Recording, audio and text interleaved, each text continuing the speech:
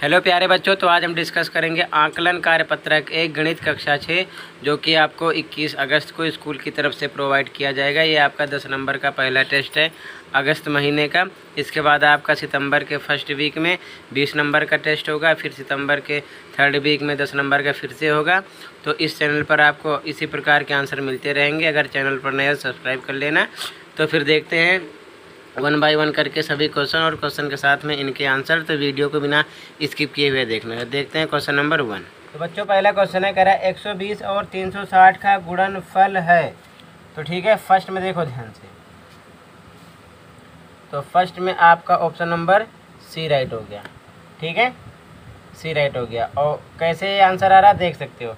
120 और 360 गुणनफल तो 120 और 360 का क्या कर लेना, गुणा कर लेना। तो वही आ जाएगा। ठीक है ना? तैंतालीस हज़ार दो सौ। तो ऑप्शन नंबर कौन सा राइट हो जाएगा आपका? पहले में सी क्लियर है? आगे बढ़ते हैं। सेकंड क्वेश्चन देख रहे हो बच्चों? सेकंड क्वेश्चन में बी ऑप्शन राइट है। कौन सा ऑप्शन राइट है? बी ठीक है? सेकंड ऑप्शन में बी ऑप्शन राइट है। सेकंड क्वेश्चन में बी ऑप्शन राइट है। ये वाला। 222 कैसे राइट है? कह रहा है दो संख्याओं का गुणनफल। तो मान लिया संख्याएँ हमारी कौन सी हैं? ए गुणे बी यानी गुणनफल का मतलब गुणा बराबर कितना है? पाँच हज़ार पाँच सौ पचास। ठीक है? और एक संख्या पच्चीस दी है तो मान लिया ए पच्चीस है, बी का पता नहीं करें, दूसरी ज्ञात करो तो बी बराबर पाँच हज़ार पाँच सौ पचास बटे पच्चीस, इससे इसको भाग कर देंगे तो दो सौ बाईस आ जाएगा। क्लियर है? तो फ़र्स्ट में आपका सी ऑप्शन राइट है, सेकंड में आपका बी ऑप्शन राइट है। क्लियर है? आगे बढ़ते हैं।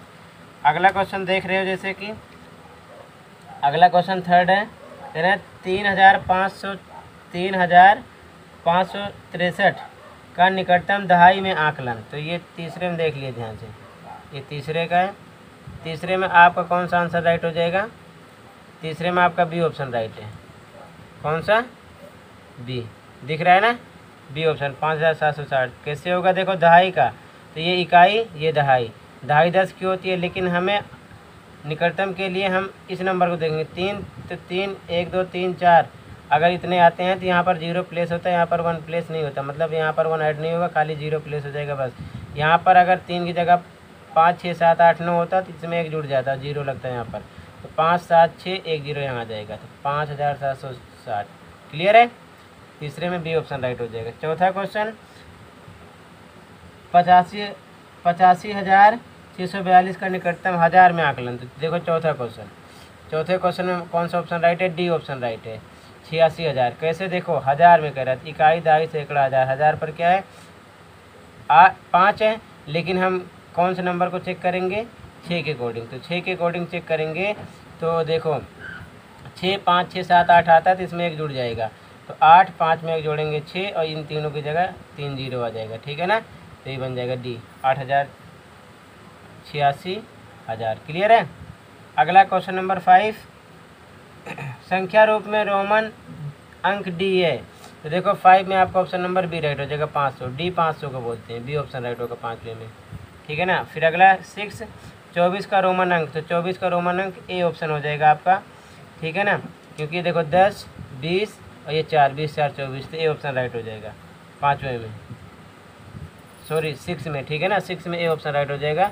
चौबीस का रोमन अंक में ये होगा दस, बीस, चार, चौबीस। ठीक है? अगला सातवां सत्ताईस को ज़ीरो से गुणा करेंगे तो तो इसमें सातवें में ज़ीरो आएगा। किसी भी नंबर में अगर हम ज़ीरो से गुणा करते हैं तो ज़ीरो ही आता है, बी ऑप्शन राइट हो जाएगा। तो फिर से देख लो, पाँचवें में बी ऑप्शन राइट है, पाँच सौ, छठे में ए ऑप्शन राइट है, ठीक है? सातवें में बी ऑप्शन राइट है, ज़ीरो। अगला आठवां और आठवां क्वेश्चन है। आठवें क्वेश्चन में क्या कह रहे हैं आठवें क्वेश्चन में कह रहे हैं कि आठ चौरासी का निकटतम सैकड़े में आकलन। तो देखो, आठ सौ चौरासी है, आठ सौ चौरासी। तो इतना सॉरी आठ सौ चौवालीस है। आठ सौ चौवालीस का निकटतम सैकड़े में आकलन। तो ध्यान से देखो, चौवालीस है, अगर ये पचास से ऊपर होता तो हम इसको नौ सौ बोलते, लेकिन नीचे आठ सौ बोलेंगे तो बी ऑप्शन राइट हो जाएगा आठ सौ। ठीक है, पाँचवें में पाँच सौ, छठे में ए, चौबीस, सातवें में बी ज़ीरो, आठवें में आठ सौ। ठीक है, अगला नौवा क्वेश्चन, रोमन अंक सी एम क्या दर्शाता है? रोमन अंक C M question number nine में। तो सी एम का मतलब सी ऑप्शन राइट हो जाएगा, नौ सौ दर्शाता है। ठीक है ना? देखो ध्यान से, कैसे दर्शाता है? एम जो होता है एम हज़ार होता है और सी इधर होता है तो सी को मतलब सौ होता है। तो हज़ार में से जब इस साइड कोई नंबर होता है तो वो कम होता है तो हज़ार में से सौ कम कर देंगे तो कितना आ जाएगा? नौ सौ। सी ऑप्शन राइट हो जाएगा, ठीक है? अगला question number ten question number ten कह रहा है कि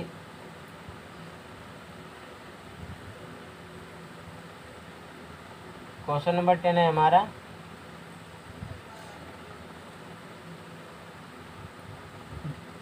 एक हज़ार एक सौ ग्यारह को ग्यारह से भाग करने पर। तो देखो एक हज़ार एक सौ ग्यारह को ग्यारह से भाग करेंगे तो ग्यारह एकम ग्यारह ज़ीरो एक उतारेंगे इसमें बढ़ा नहीं जाएगा ज़ीरो बढ़ेंगे अगला नंबर आ जाएगा एक ग्यारह ग्यारह एकम ग्यारह एक सौ एक आ जाएगा। सी ऑप्शन मिलेगा हमको एक सौ एक आंसर आएगा हमारा। आंसर यहाँ करके बताया गया क्लियर है? एक बार ठीक से देख लो किसमें कौन सा ऑप्शन राइट है। फ़र्स्ट में आपका सी ऑप्शन राइट है। सेकंड में आपका बी ऑप्शन राइट है। सेकंड में बी है फ़र्स्ट में सी ऑप्शन राइट है। ठीक है? इसके बाद में थर्ड में बी ऑप्शन राइट है. फोर में डी ऑप्शन राइट है. फोर में डी ऑप्शन राइट है. इसके बाद में फाइव में बी ऑप्शन राइट है. सिक्स में ए ऑप्शन राइट है. सेवन में बी ऑप्शन राइट है. एट में बी ऑप्शन राइट है. आठ सौ नाइन में सी ऑप्शन राइट है. नौ सौ और टेन में सी ऑप्शन राइट है. एक सौ एक. क्लियर है? ठीक है? तो इसी के साथ आप का असेसमेंट वन कंप्लीट हुआ। आई होप आपको अच्छे समझ में आ गया होगा। अगर वीडियो पसंद आई है तो अपने दोस्तों को भी शेयर कर सकते हो ताकि उनकी भी हेल्प हो सके। तो आज की वीडियो में बस इतना ही था। मिलते हैं नेक्स्ट वीडियो में। Thank you for watching this video